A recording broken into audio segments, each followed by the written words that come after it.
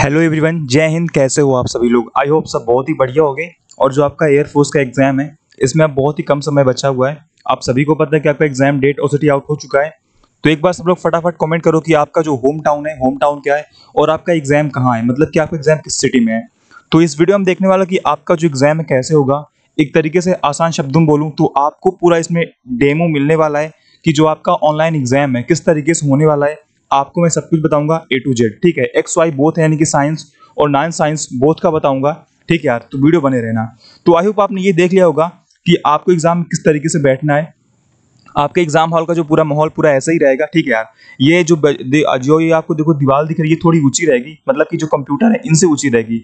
ये दीवारें आपकी इतनी ऊँची रहती हैं, पीछे वाली भी और बीच वाली भी, कि आपको ना अगल बगल दिखेगा, ना आपको पीछे दिखेगा, ठीक है? इस फ़ोटो में थोड़ा सा जो जो आगे वाला दिख रहा है, बगल वाला दिख रहा है, लेकिन ऐसा नहीं होता है। जो आपका सेंटर रहेगा, ये दीवारें आपकी इतनी ऊँची रहेंगी, दोनों आगे पीछे वाली और बगल वाली, कि आपको बगल में और पीछे और आगे नहीं दिखने वाला ठीक है? बाकी आप चाहो तो आप बगल से अपनी चेयर पीछे झाँक सकते हो। बाकी यार ऐसा कोई करता नहीं, क्योंकि सभी के पास टाइम नहीं होता है, हर कोई अपना करने में बिज़ी होता है, ठीक है? तो ये आपका एक तरीके से सेटिंग अरेंजमेंट है, आपको ऐसे बैठना रहेगा, ये आपने देख लिया होगा, ठीक है? अब चलते हैं आपके एग्ज़ाम पर हम कि आपका एग्ज़ाम कैसे होने वाला है, ठीक है यार? तो जैसे ही आप जाओ कंप्यूटर में तो आपका स्क्रीन कुछ ऐसा ही रहेगा ठीक है? आपका जो स्क्रीन है ऑलरेडी ऐसा ही रहेगा। और आपके सामने दो ऑप्शन है कि एक आपका रहेगा हॉल टिकट नंबर एक आपका रहेगा ईमेल आईडी आपको आ, मतलब आप जाओगे वहाँ पहले बैठोगे तो आपसे थोड़ी देर बैठने को बोला जाएगा। उसके बाद वो बोलेंगे कि आपको अपने से कुछ नहीं करना है जो भी करना है हम बताएँगे कि वहाँ पर आपको ए टू जेड सारी चीज़ें आपको बताई जाएगी ठीक है? तो जैसे आपका एग्ज़ाम स्टार्ट होने वाला होगा तो आपसे बोलेंगे सभी लोग फटाफट अपने जो स्क्रीन है, दिख रहा है हॉल टिकट नंबर अपना आप सब लोग मतलब अपना फिल कर लो और सब लोग अपना ईमेल आईडी इसमें डाल दो, ठीक है जो आपका हॉल टिकट नंबर वो आपके एडमिट कार्ड पे बिल्कुल ऊपर प्रिंट होता है।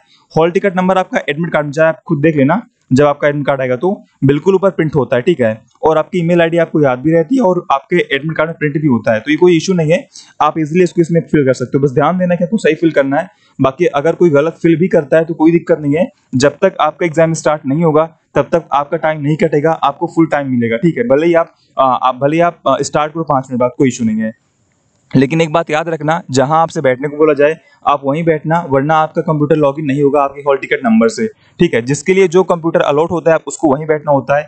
अगर किसी और कंप्यूटर बैठेगा तो उसका लॉगिन नहीं होगा ठीक है? तो जहाँ आपसे बोलेंगे आपको वहीं बैठना है। और फिर थोड़ी देर देर बाद आपसे बोलें कि आप इसको लॉगिन कर सकते हो तो आपको फिर से लॉगिन कर लेना है ठीक है? जैसे आप इसे लॉगिन करोगे देखो थोड़ा थोड़ा सा मेरा मतलब नेट स्लो है इसलिए थोड़ा टाइम ले रहा है। अब देखो, जैसे आप इसे लॉगिन करोगे तो ये आपका देखो ऐसे ओपन हो जाएगा। इसमें आपके जो सारे इंस्ट्रक्शन आपके सारे इंस्ट्रक्शन ओपन हो जाएँगे। यहाँ पर देखो आपका नाम लिखा होगा, ठीक है, और आपका हॉल टिकट नंबर लिखा होगा। और यहाँ पर आपकी फ़ोटो मतलब यहाँ पर आपकी फ़ोटो लगी होगी, ठीक है। आपकी फ़ोटो जो भी एडमिट कार्ड में यहाँ लगी होगी, और यहाँ पर आपका नाम लिखा होगा। और ये बोलेगा यू कैन स्टार्ट एग्ज़ाम यानी कि देखो ये अभी ये बोल रहा है। लेकिन जैसे आपका एग्ज़ाम का टाइम स्टार्ट हो जाएगा, ये आपको बोलेगा यू कैन स्टार्ट एग्ज़ाम लेकिन एग्ज़ाम स्टार्ट होने से पहले आपको वहाँ पर कम से कम दस मिनट समय मिलता है तो उतने में आपको आराम से सारे इंस्ट्रक्शन को पढ़ लेना है, जो भी इसमें इंस्ट्रक्शन दे रखा है, ठीक है? बिल्कुल आपका इसकी नहीं रहेगा, बिल्कुल आपका एग्ज़ाम ऐसे ही होता है, बस अंतर इतना रहेगा कि यहाँ पर आपका नाम रहेगा और यहाँ पर आपकी फ़ोटो लगी होगी। तो आपको यहाँ पर सब कुछ ध्यान से पढ़ लेना है, क्या कुछ है? अब यहाँ पर देखो पूरा स्कीम दे रखा है एक्स का क्या है वाई का क्या है एक्स वाई बोथ का क्या है, इनकी साइंस क्या है नॉन साइंस क्या है नॉन और बोथ का क्या है, ठीक है? ऐसे करके पूरा आपका सब कुछ, इसमें सब कुछ दिया होता है। आपका काम क्या है, कैसे क्या है, ठीक है? तो आपको सारे जो इंस्ट्रक्शन है, ध्यान से पढ़ने के बाद यहाँ आपको टिक कर देना है। मैंने सारे इंस्ट्रक्शन को पढ़ लिया, मैं उसका पालन करूँगा, उसके बाद आप अपना एग्ज़ाम स्टार्ट कर दोगे, ठीक है? तो जैसे हम एग्ज़ाम स्टार्ट करेंगे, आपका एग्ज़ाम स्टार्ट हो जाएगा। मैं फिर से बोल रहा हूँ, मेरा नेट स्लो है, इसलिए टाइम ले रहा है। आपके एग्ज़ाम में ऐसा कुछ नहीं होगा। आपका जो एग्ज़ाम है, आपका कंप्यूटर बहुत ही स्मूथ काम करेगा, ठीक है यार? तो अभी देखिए, जो सबसे पहले आपका ओपन होगा, अगर आप साइंस और नॉन साइंस बोथ का फिल करोगे तो आपको फिजिक्स आएगा, ठीक है? तो आपका जो इंटरफेस कुछ इस प्रकार होगा। आपका यहाँ पर देखो क्वेश्चन नंबर लिखे होंगे और ये आपको दर्शाएगा ये आपको शो करेगा कि आपने कितने क्वेश्चन आंसर किए हैं और आपने कितने क्वेश्चन आंसर नहीं किए हैं ठीक है यार? और ये देखो आपको बताएगा आपने कितने आंसर किए हैं ये अनआंसर्ड और ये आपका मार्क रिव्यू यहाँ पर आपका नाम लिखा होगा यहाँ पर आपका हॉल टिकट नंबर और सबसे इंपॉर्टेंट देखो यहाँ पर आपका जो सेशन आईडी है इसको आप कहीं नोट कर लेना। मान लो बाई चांस अगर आपके कंप्यूटर में कुछ हो, हो जाता है पहली बात तो यार कुछ नहीं होगा लेकिन बाई चांस अगर कुछ हो जाता है कंप्यूटर मान लो बंद ही हो जाता है तो जो आपकी सेशन आईडी है, इसके थ्रू आप अपने एग्ज़ाम को फिर से वहीं से स्टार्ट कर सकते हो, ठीक है? लेकिन अगर आपने अपनी सेशन आईडी नहीं लिख रखी है तो आपका एग्ज़ाम सबमिट हो जाएगा, या तो आपको फिर से एग्ज़ाम स्टार्ट करना पड़ेगा, नहीं तो आपका एग्ज़ाम सबमिट हो जाएगा, ठीक है? यार तो इसको आप नोट कर लेना ताकि कोई भी इशू ना हो बिल्कुल आप खुद भी बोलेंगे आपसे कि आप इसको नोट कर लो। यहाँ पर आपकी फ़ोटो लगी होगी, यहाँ पर आपका सेक्शन का नाम लिखा होगा, और यहाँ पर आपका टाइमर ऑन होगा, ठीक है? टाइमर देखो आपको सेकंड में नहीं दिखाता है आपको पता है कि जो एयरफोर्स का एग्ज़ाम होता है, इसमें 20 मिनट मिलते हैं फिजिक्स के लिए 20 मिनट मैथ्स के लिए 20 मिनट इंग्लिश के लिए और 25 मिनट मिलता है रा के लिए, ठीक है? अब देखो यहाँ पर टाइमर देखो कितनी स्पीड चल रहा है। अभी देखो मैंने स्टार्ट ही किया है, अब देखो अठारह मिनट हो चुका है, ठीक है? तो ये आपको सेकंड में नहीं दिखाता, ये आपको ऐसा दिखाएगा। जब बाद में आपके पाँच मिनट बचेंगे तो ये आपका रेड हो जाएगा और ताकि आप अलर्ट रहो कि आपका टाइम जो है खत्म होने वाला है, ठीक है? तो ये ऐसे रहेगा और ये आपके क्वेश्चन ऐसे रहेंगे नेवी के एग्ज़ाम में क्या होता है? एसएससी के एग्ज़ाम में क्या होता है? स्क्रीन पर एक बार में एक ही क्वेश्चन आता है, लेकिन एयरफोर्स का सबसे जो अच्छी बात है, वो ये होता है कि इनका जो पूरा क्वेश्चन पेपर होता है, एक ही बार में आपका पूरा क्वेश्चन पेपर आ जाता है। आप इसको जो आपकी बीच में स्क्रॉल वाली बटन होती है, आप उससे स्क्रॉल करके एक ही बार में अपना पूरा पेपर देख सकते हो। ठीक है यार? अब देखिए, जैसे मान लीजिए आपको कोई क्वेश्चन आंसर करना है, जैसे ट्वेंटी नंबर क्वेश्चन है, इसको आपको आंसर करना है, ठीक है? कि सरफेस स्टेशन किस पर मिनिमम होगा?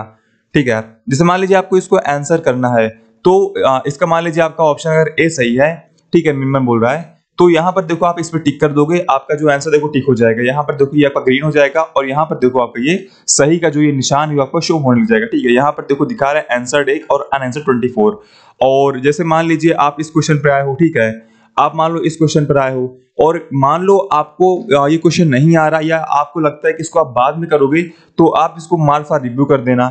जैसे आप मार्क फॉर रिव्यू क्लिक करोगे, यहाँ पर देखो ये आपका ऐसा हो जाएगा, ठीक है? और आपका जो क्वेश्चन नंबर वो शो हो जाएगा। और यहाँ पर देखो आपको शो होगा कि mark for review one question अब जैसे मान लो आपको स्क्रॉल नहीं करना है, आपको सीधे जाना क्वेश्चन नंबर एक पर तो आप एक पे क्लिक करोगे, देखो आपको क्वेश्चन नंबर एक आ गया, ठीक है?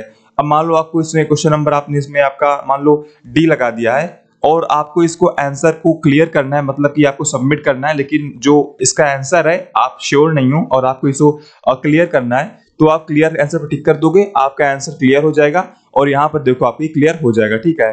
अब जैसे मान लो आपने जो मार्क कर रखा है, ये देखो आपका ब्लू शो होगा, ठीक है? आंसर आपका ग्रीन शो होगा और अनआंसर आपका कुछ रेड टाइप में शो होगा। अब मान लो आपको इस पे जाना आपने इस पर क्लिक किया। अब इसको मान लो आपने जो भी इसका आंसर आपने इस पे आंसर कर दिया, ठीक है? जो भी बी सी डी हो आंसर करके आप इसको चाहो तो अनमार्क कर दो। और अगर ये मार्क भी रहता है, तब भी इसमें कोई इशू नहीं है। ठीक है, आप चाहिए इसे मार्क ही रहने दो। मार्क रहेगा तब भी आपको कोई इशू नहीं है। अनमार्क रहेगा, तब भी कोई इशू नहीं है। ठीक है तो ऐसे करके आपको अपने पूरे 25 क्वेश्चन सॉल्व कर डालने हैं। आपको सबमिट नहीं करना है। वैसे यहाँ पर देखो सबमिट का ऑप्शन होता है। ठीक है, यहाँ पर ये आपको देता भी है कि don't press submit question paper section button till you have completed section ठीक है तो देखो, आपको सेक्शन खुद से सबमिट नहीं करना है वैसे तो लेकिन आप चाहो तो सबमिट कर सकते हो यहाँ से। ये ऑप्शन रहता है एग्ज़ाम में। लेकिन 20 मिनट होने के बाद जो आपका सेक्शन है ऑटोमेटिकली सबमिट हो जाएगा तो आपको इसमें कुछ नहीं करना है। अब जैसा कि मैंने बोला है, मैं एक्स वाई बोथ का बताऊँगा तो चलिए अब आगे बढ़ते हैं। मैं इसे सबमिट करता हूँ, ठीक है? देखिए, मैंने इसे अपना सबमिट कर दिया है, ठीक है? तो आप सबमिट मत करना खुद से। उसके बाद जैसे आपका जो सेक्शन सबमिट हो जाएगा, आपके सामने कुछ ऐसा इंटरफेस आएगा, ठीक है? और यहाँ पर आपका देखो शो होगा कि आपने कितने क्वेश्चन आंसर किए हैं, और यहाँ पर आपका शो होगा आपने कितने क्वेश्चन आंसर नहीं किए हैं। और यहाँ पे शो रहा है कि आपने कितने क्वेश्चन मार्क फॉर रिव्यू के लिए छोड़ दिए थे, ठीक है? उसके बाद आपको दो तीन मिनट वेट करना पड़ेगा और फिर आपके स्क्रीन पे ऑटोमेटिकली एक अलर्ट नोटिफिकेशन आ जाए कि आप अपना जो एग्ज़ाम स्टार्ट कर सकते हो और वहाँ से भी अनाउंस किया जाए कि आप जो अपना एग्ज़ाम स्टार्ट कर दो, ठीक है?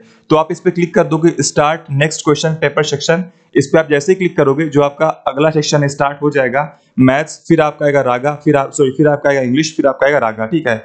और क्लिक करने के बाद देखो जो आपका मैथ वो स्टार्ट हो जाएगा, ठीक है? अब आपने देखो 25 नंबर तक क्वेश्चन कर लिए थे सो यहाँ से आपका 26 नंबर क्वेश्चन स्टार्ट हो जाएगा। अब इसमें भी आपको सेम चीज़ें वही रहेगी, यहाँ पर आपका सब कुछ रहेगा तो आपको बार बार कुछ नहीं करना है मतलब ये सेशन आईडी वगैरह सब कुछ आपका वही रहेगा, ठीक है? बस आपको क्वेश्चन को सॉल्व करना है और आपको इसे फटाफट सबको आंसर करना है, ठीक है? आप सबको आंसर करके आपका जो 20 मिनट कंप्लीट होने के बाद ऑटोमेटिकली सबमिट हो जाएगा। आपको कुछ सबमिट नहीं करना है, लेकिन आप चाहो तो कुछ सबमिट कर सकते हो, लेकिन उससे कोई मतलब बचेगा नहीं। आप मान लो क्वेश्चन को आप मान लो भी बीस मिनट बचा है आपने इसको सबमिट कर दिया दस मिनट में तो जो आपका टाइम दस मिनट है, ऐसा कुछ नहीं कि आपका पेपर दस मिनट बाद स्टार्ट हो जाएगा, ऐसा कुछ नहीं है। आपको पूरा दस मिनट वेट करना ही पड़ेगा। जब सबका कंप्लीट हो जाएगा, उसके बाद ही आपका स्टार्ट होगा, ठीक है यार? तो पहले सबमिट करने से कोई मतलब नहीं है। आपको आराम से करना है पूरा, आपको लेना है बीस मिनट, ठीक है? तो मैं इसे फिर सबमिट कर रहा हूँ ताकि आपको मैं आगे दिखा सकूँ क्या रहता है आगे, ठीक है? आपको लेकिन सबमिट खुद से नहीं करना है, आपका ऑटोमेटिकली सबमिट हो जाएगा। सबमिट करने के बाद यहाँ पर देखो फिर आपका सेम इंटरफेस आएगा। आपको फिर दो तीन मिनट वेट करना पड़ेगा। ठीक है? उसके बाद आपके स्क्रीन फिर से एक अलर्ट आएगा कि आपका जो सेक्शन है स्टार्ट हो सकता है आप स्टार्ट कर सकते हो और यहाँ पर आपका जो स्टार्ट का ऑप्शन है शो हो जाएगा। आपको फोर्सेस पे क्लिक करना पड़ेगा और जो आपका इंग्लिश का सेक्शन होगा वो स्टार्ट हो जाएगा। ठीक है यार? सो so, यहाँ पर आपको मैं फिजिक्स मैथ्स के बाद आपका इंग्लिश स्टार्ट हो जाएगा क्वेश्चन नंबर फिफ्टी वन से। क्यों? आप सभी को पता है आपने पचास क्वेश्चन सॉल्व कर लिए हैं और ये आपका फिफ्टी वन फिफ्टी वन से स्टार्ट हो जाएगा। ठीक है? तो आपका जो पैसेज ऐसे होगा और पैसेज के नीचे आप क्वेश्चन रहेगा फिर आपका शो होगा पैसेज मतलब कि जो आपका पैसेज रहता है पैसेज के साथ में क्वेश्चन रहता है। ऐसा नहीं कि आपका पैसेज कहीं और लिखा रहेगा क्वेश्चन कहीं और रहेगा, आपको सब कुछ मिल जाएगा, ठीक है यार? तो इजीली आप इसको सब कुछ पढ़ के सॉल्व कर सकते हो, इसमें कोई बड़ी बात नहीं, कोई भी इशू नहीं है, ठीक है यार? लेकिन बस ध्यान रखना है आपको बहुत ही केयरफुली सॉल्व करना है ताकि आपका जो कोई क्वेश्चन गलत ना हो, ठीक है यार?